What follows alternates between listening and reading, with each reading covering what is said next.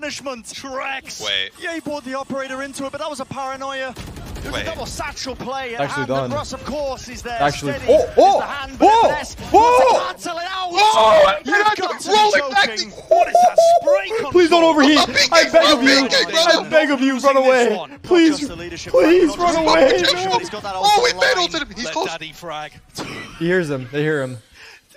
Yeah, but he It's can't hear them. I Wait, why are they splitting up? Yo, Wait, yo, yo, yo, running yo, it. Marved's yo. running it. Oh, it's fine. He doesn't hear him. Like Hansel and Gretel. Yeah, but- exactly where he's going to be leading. Yeah, but like he could stop running, right? Towards the breach. Yeah, I mean, But it fades away I don't know. now, and Leo I feel like you don't split up. Period. Like right now they're. responsibility on his Suno, shoulders. you better fucking pray to God they win this round. Otherwise, this shit's going on your name. Sublime. Oh Just about Woohoo! give Marv a No! haircut.